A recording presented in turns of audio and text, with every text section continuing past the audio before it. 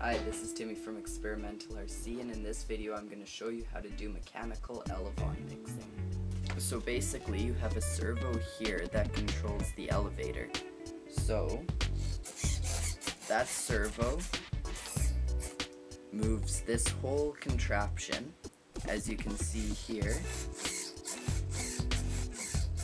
and then you have another servo here that controls ailerons on this contraption, but as it controls ailerons, the elevator can move this whole thing, which will give it full elevon control.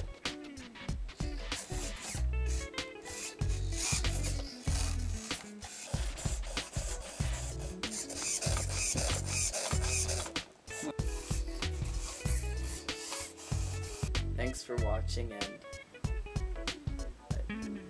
subscribe.